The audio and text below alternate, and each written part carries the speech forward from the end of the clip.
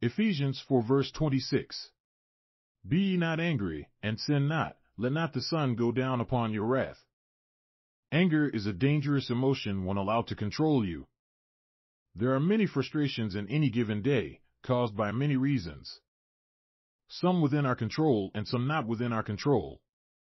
We are displeased with our morning routine or annoyed by traffic to work.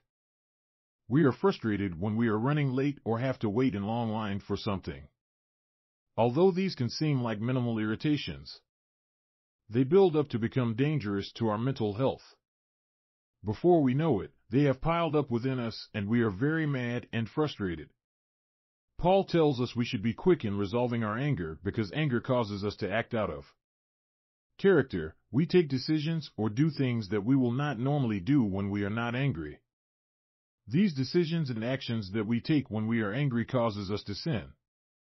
We sin by talking bad when we are angry. Or we sin by the actions we decide to take when we are angry.